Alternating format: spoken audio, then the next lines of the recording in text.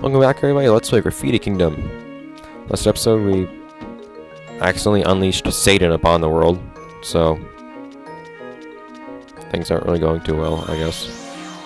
And we decided to use a creature that RKO made for us. Because why the hell not?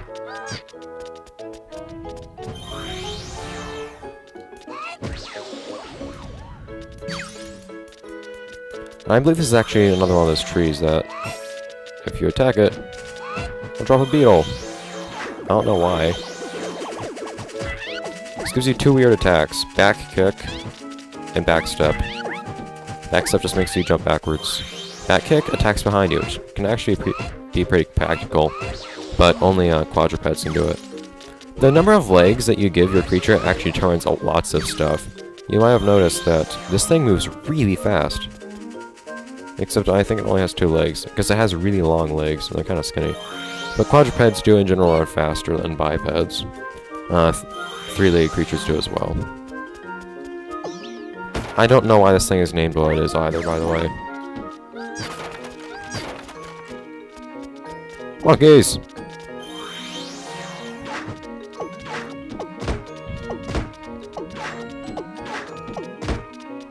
Hey! Crap! Thankfully, Pixel can't actually be knocked down, which has some very nice side effects that one might not initially think about. That's why I don't like spin attacks. They take so long to perform.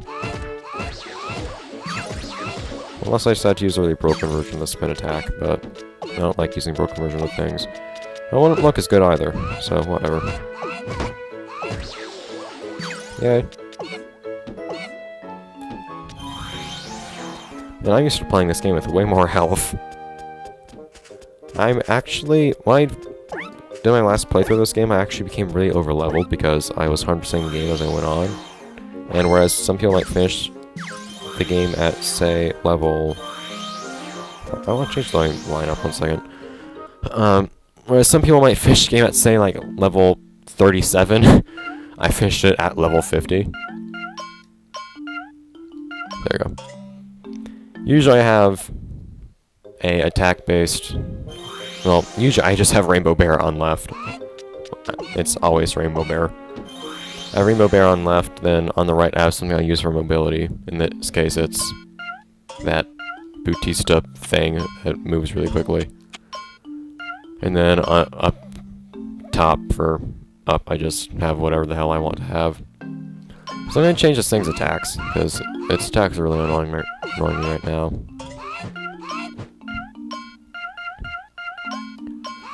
I'm to give some more natural attacks. Now, we won't have...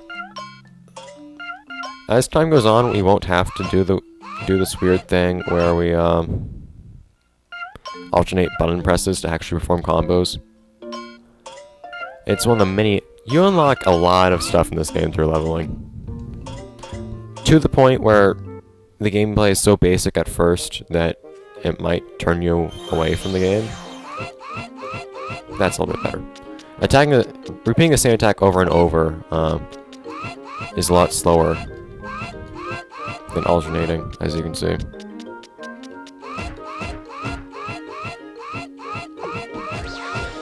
Yay, card. More rare enemies um, generally have higher drop rates. Usually. Some of the later enemies that don't have higher drop rates, or that hunt incredibly rare, or time consuming to make appear, don't have higher drop rates, which is incredibly annoying. Spongina, hi. I will be killing pretty much every enemy I can find, though. Don't... Thing is, don't make your graffiti creatures too tall, because you won't be able to, uh, hit small enemies if you do.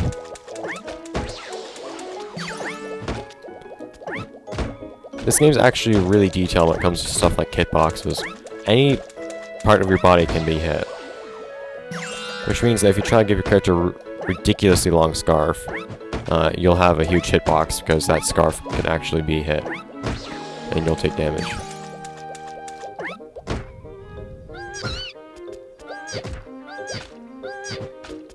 Die! Yeah, I guess.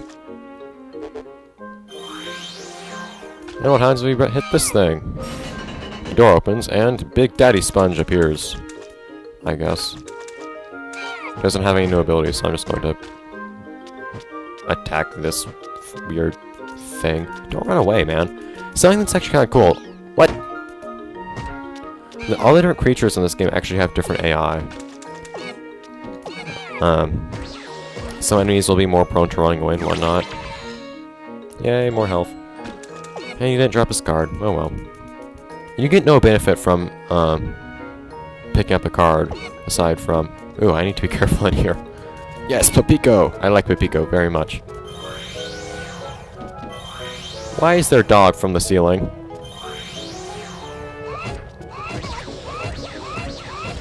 I like Papico a lot. Oh dear. There's no benefit from um, gathering cards aside from just 100% completion, as well as being able to play as those creatures or uh, look at their how they are made in the graffiti editor. If you aren't interested in any of those things, you're not going to be interested in gathering all the cards. Some of these are some uh, creatures are serious pain to get the cards of too, because some will only spawn once in a level, like that Big Daddy Sponge.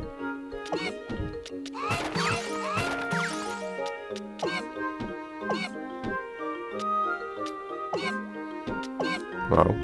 There we go. If I want to get some height off of a jump, I, I'll just use this thing's Stomp Attack.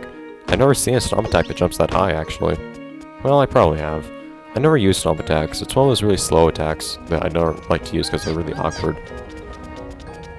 Speaking of awkward, I should probably change that Rutista thing's um, moveset. Yay!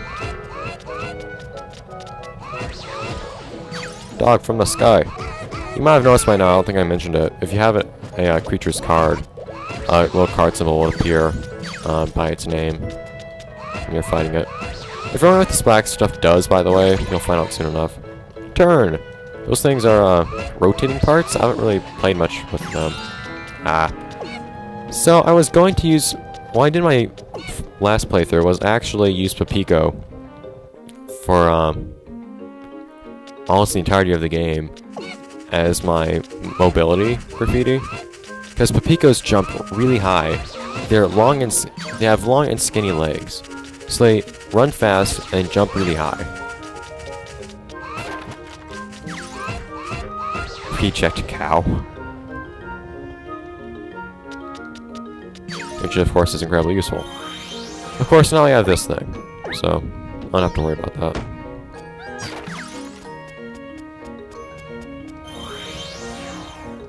I'm gonna change the moveset of this thing, though. By the way, I never did show that golem thing. Special card. Special cards are cards that you just find in the environment that you pick up. Um, as well as boss cards, though. These two sorts of cards are cards you um, find sitting out in the middle of nowhere. Boss cards can only be picked up once you've defeated that boss, though. I'll be found in, in the preceding level most of the time. Slimes will be found in other places, though. So, things are organized by area. Everything in Canvas Plains can be found in the Canvas Plains pack. And then there are rare cards, enemies that will only appear uh, either under cer certain circumstances when you do something special, or just have a small chance of appearing in a room whenever you enter the room. Then you also have super rare cards that um, do not appear on your first playthrough of a level. They will either always appear in a certain room, on subsequent playthroughs of a level, or they'll only have a chance of appearing uh, on subsequent playthroughs of a level. Kind of a pain to find, but oh well. Anyways, let's make this thing actually playable. I should probably change its voice too. Dear God. Yeah, let's make it robot-like. I guess.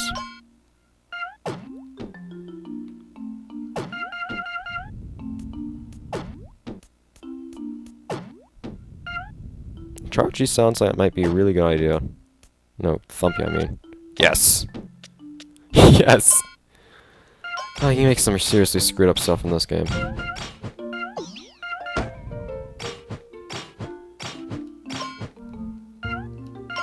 I want to do a, a raise attack, because that'll Oh no, I guess that might not actually hit stuff on the ground. There we go. Well, swing kick is interesting. It doesn't do much damage at all, but it'll always but uh, it'll always knock down an enemy. So you're basically uh, knocking out their feet from under them. Does this even have arms to do arm attack with? Well, it totally does. But its legs probably do much more damage because they're thicker. I'm not sure. What's her attack look like? Huh. Sometimes the game just utterly fails at animating things, but a lot of the time it actually looks pretty good.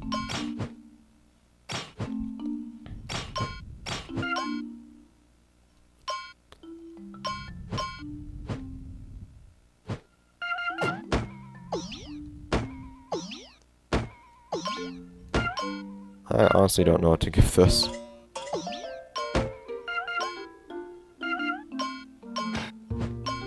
That has lots of range at least, and will hit stuff on the ground. You also notice that different creatures have different classifications, like this is called moving attack.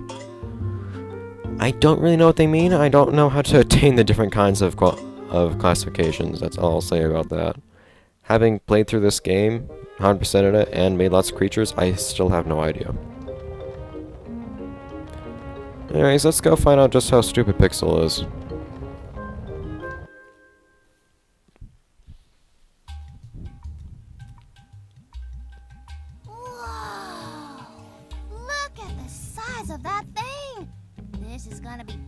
Than I thought.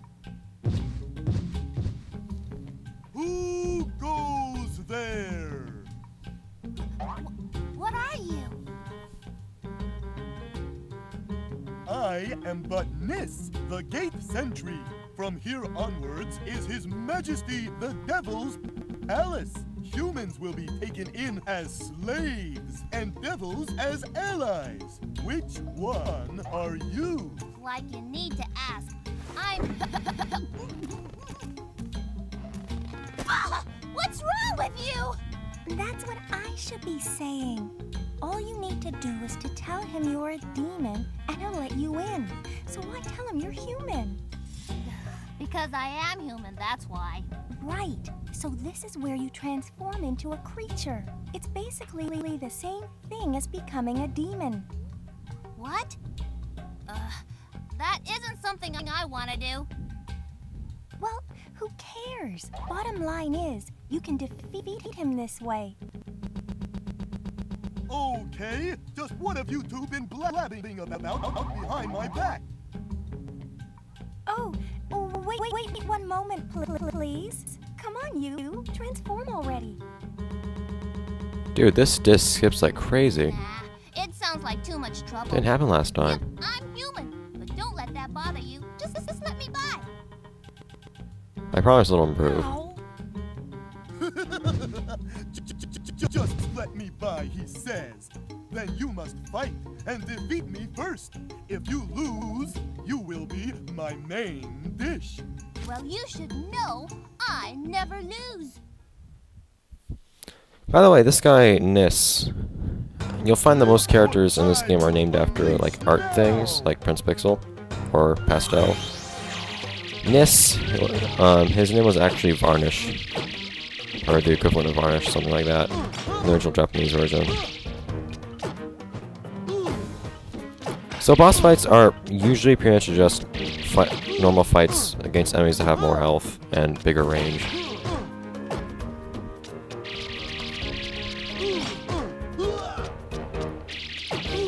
Uh, some bosses will actually have abilities that you don't have yourself, but that doesn't apply to many enemies.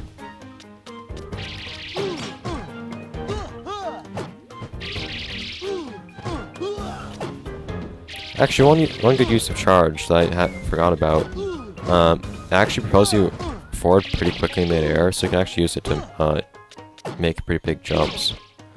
By the way, something I never did explain because I completely forgot about it. Your damage dealt actually does increase as you, uh... Your damage dealt actually does increase as you... Oh, come on, Nis. Ow! I level up.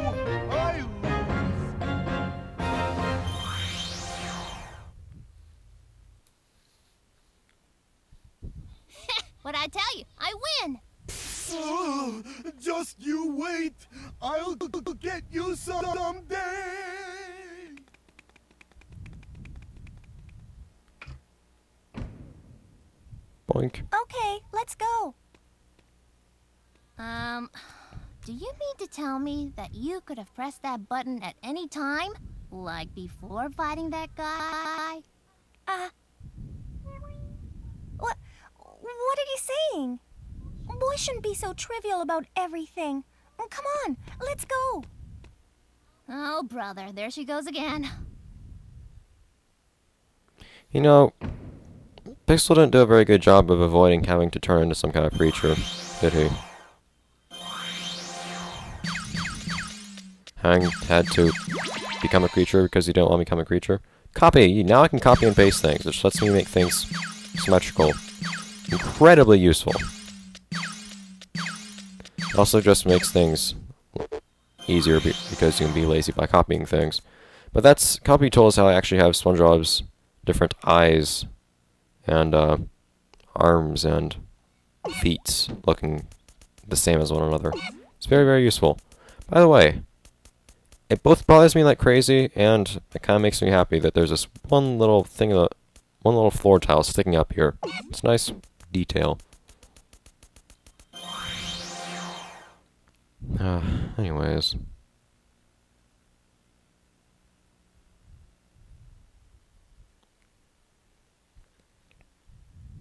Ah, Just look at this place.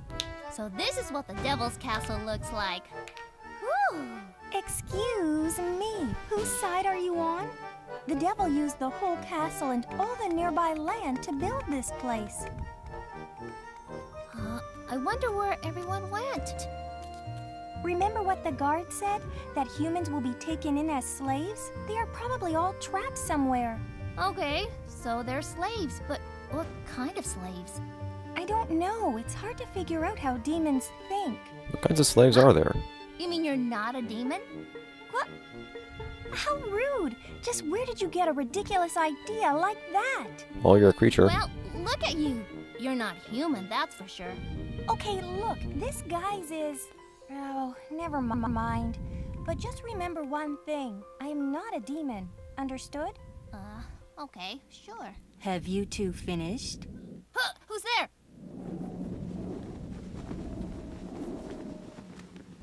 My name is Tablet. Despite my appearance, I am just a humble demon. Oh, and what do you want with me?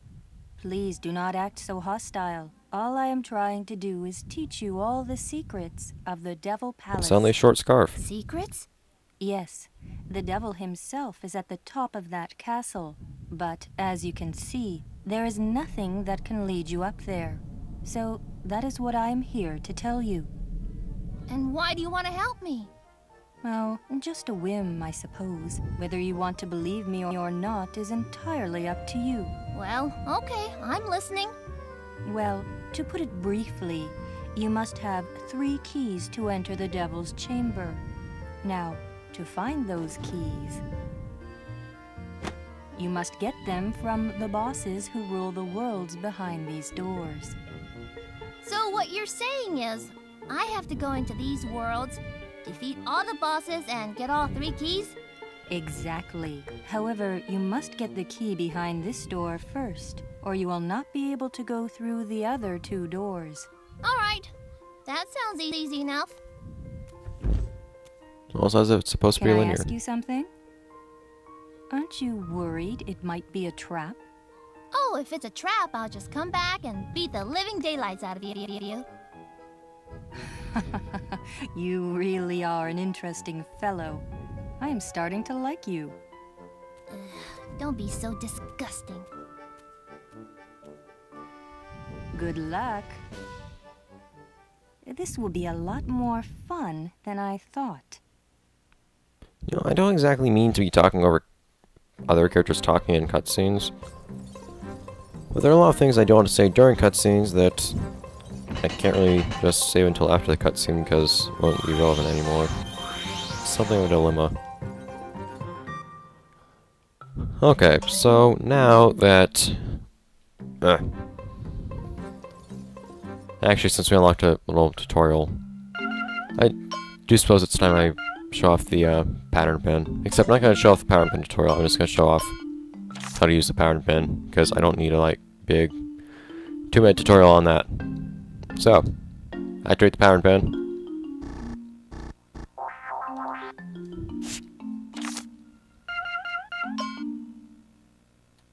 You can draw on crap.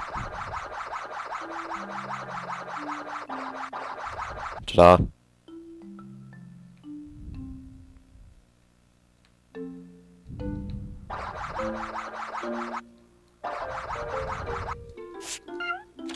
Okay. That's pretty much it. Now for the copy tool. For example, I want to give this thing a third leg for some reason.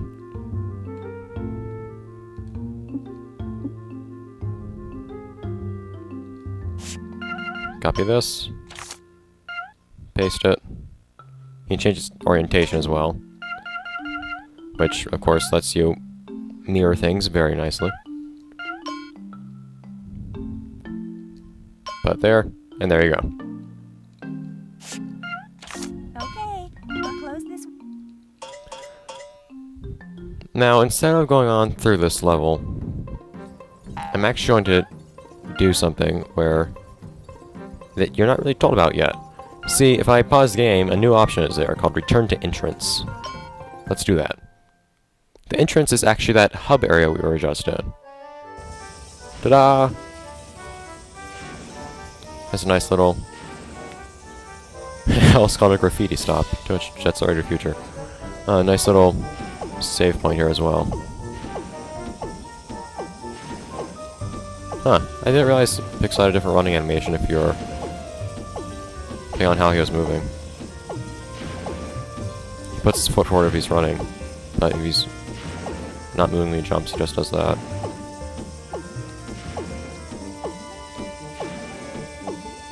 Huh. Anyways, now we can go back through levels. Let's go off to Canvas Plains, the first area that we played in. Because there's actually a rare graffiti that can appear now, a super rare graffiti actually, that may have an ability that I want.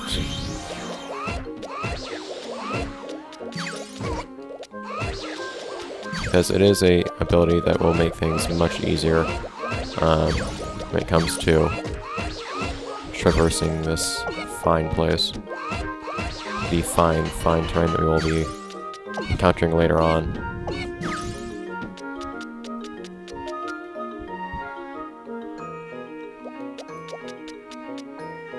It's just a chance spawn in this first area. I'm pretty sure you can counter it uh, right after your first playthrough. May take a few tries though. If I don't get after like six tries, I guess I'll just give up and I'll try to find it later. But I know you can actually encounter pretty early in the game.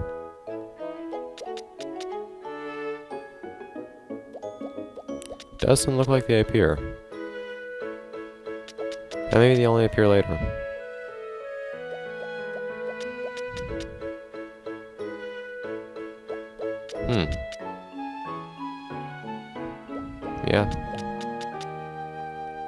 See, that's a really annoying thing about super rare uh, graffitis. A lot of them just don't appear earlier on.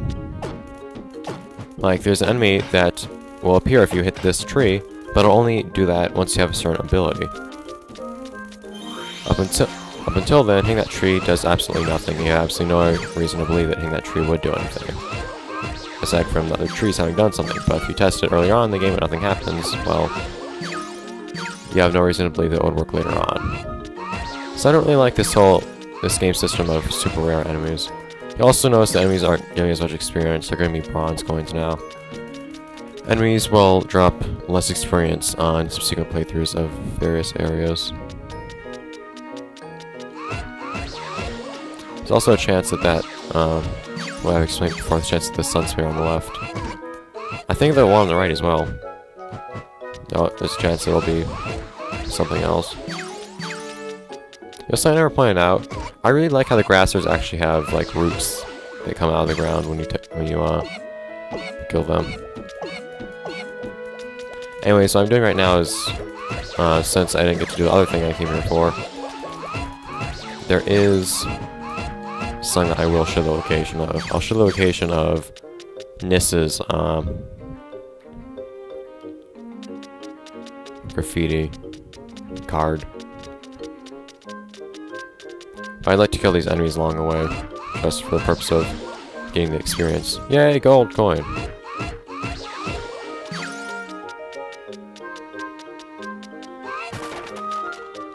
Monkey!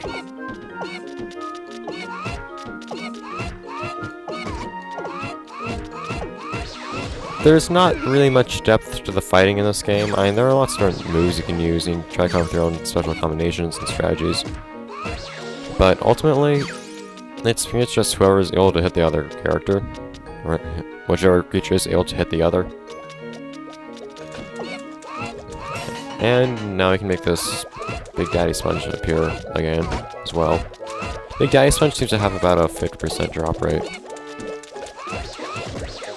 Still didn't dr drop anything, but... He's a very common drop when it comes to his card, that is. This game also goes kind of easy on you with the health sometimes. Enemies, as you as you lose health, enemies will drop uh, more and more hearts for you. So it's something of an adaptive difficulty. Ow.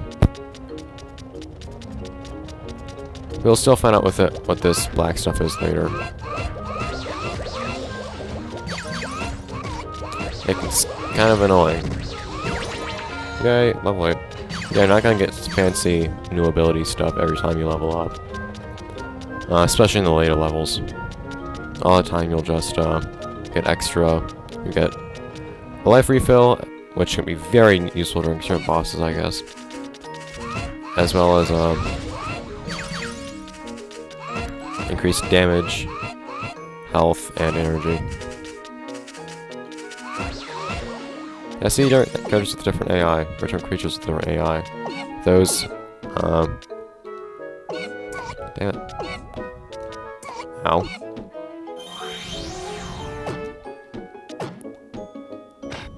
Those creatures will, uh, always run circles. Anyways, now, if I break this thing, I'll have a card in it. Now I can go back to the entrance, look at that card, and it's actually Nis. Or Varnish, as I like to call him. You can look at it, at all of his beauty.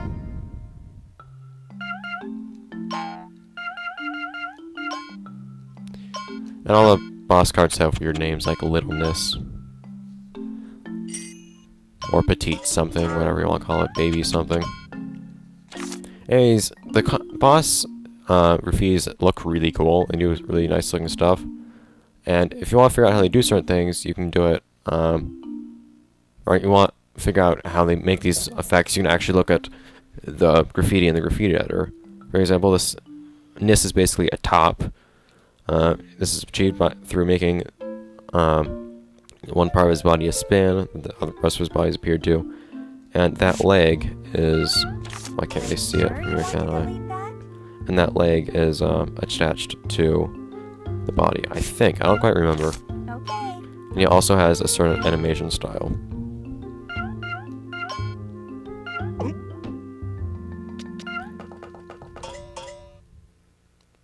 Anyways, that is going to be it for this episode of Let's Play Graffiti Kingdom.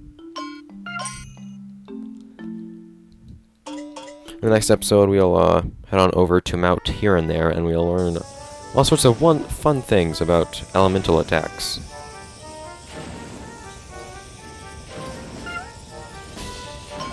And for some reason, graffiti creatures can't go through doors. They can't comprehend. See you guys.